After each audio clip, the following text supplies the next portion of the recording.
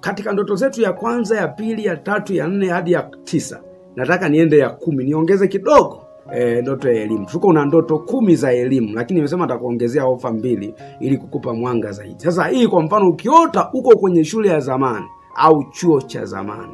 Unaona hii sijasema lakini nimekuongezea tu shule ya zamani chuo cha zamani. Kwa sababu tunaelewa siku zote ukiota shule ya msingi maanake ni, ni, ni, ni shule ya zamani lakini ni ya msingi ukiota chuo ni chuo cha zamani kwa sababu sinakuwa umemaliza. Lakini nataka ni specific kwenye ndoto ukaota uko chuo cha zamani. Unaona? Ehe. Au shule ya zamani. Unaona? Sasa tuone hapa eh, maana ya jumla itakuwa ni nini? Maana ya jumla itakuwa ni nini? Maana ya jumla itakuwa nini? Maanake unatumia zaidi fikra za zamani kuishi msimu mpya.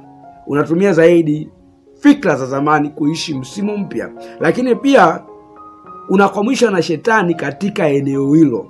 Unaona? Unakwamishwa na shetani katika ngazi hiyo unaiona kwenye ndoto. E, yani kuna kukwama fulani ambako kunatokea katika ngazi hiyo. Kuna kitu hakiko sawa katika ngazi hiyo.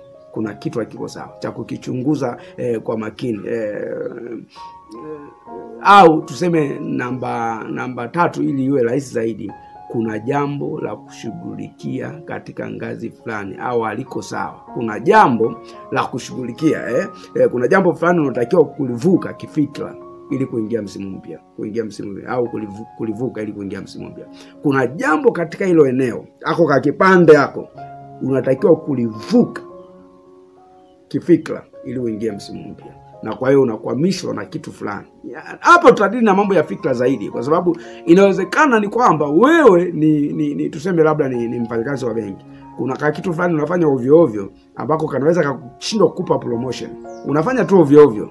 Hauko makini sana unafanya ovyo ovyo kwa sababu katashindwa kukupa promotion unaota ndoto ya naye maana yake unatumia maarifa ya zamani wakati itakiwa utumie maarifa mapya kuishi msimu mpya. Ili hata mtu akikuona anasema huyu kwa kizazi hichi anastahili.